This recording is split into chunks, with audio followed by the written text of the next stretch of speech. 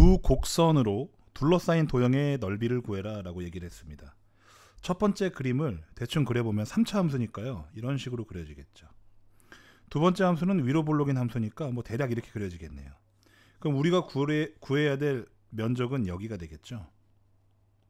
그렇다면 위에서 아래 걸 빼주는 거기 때문에 개형만으로도 우리는 아, 요 2차 함수에서 3차 함수를 빼면 되겠다는 사실을 알 수가 있을 것이고요. 그런 다음에 요 두 경계점을 알면 되는데 역시 이 정적분의 범위는 두 그래프의 교점을 찾아야 되는 것이고 그 교점이라는 것은 연립방정식의 근이어서 바로 연립을 해보면 함수 형태의 연립방정식은 y는 좀 보시면 y는 x 세제곱 플러스 2x 제곱 마이너스 2랑 y는 마이너스 x제곱 플러스 2로 되어 있는 거기 때문에 이걸 연립한다는 것은 좌변이 같으니까 우변도 같다라고 놓으면 바로 연립이 되죠. 그렇죠?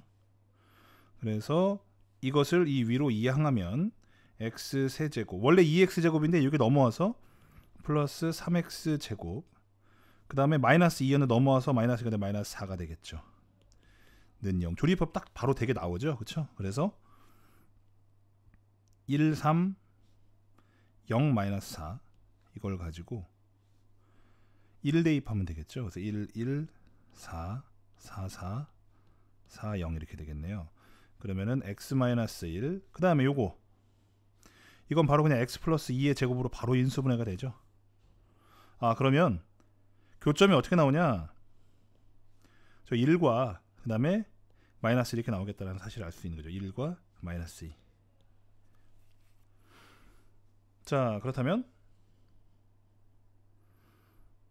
인테그랄 마이너스 2에서 1까지. 2차에서 1차 빼는 거죠? 2차에서 자 대괄호 치고 2차에서 마이너스 x제곱 플러스 2입니다. 2차에서 빼기 3차. x세제곱 플러스 2x 제곱 마이너스 2 이렇게 되겠죠? 자 식정리를 쭉 해주면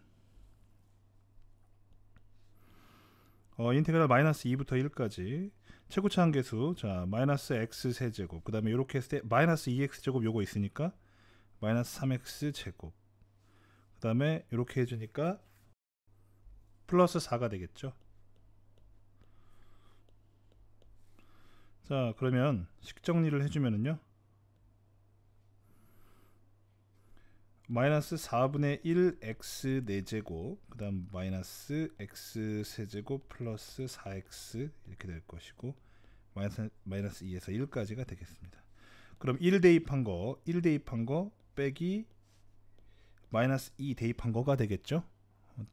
그래서 1 대입하면은요 4분의 11이 나오고요. 그 다음에 마이너스 2 대입하면 이렇게 마이너스 4가 나옵니다.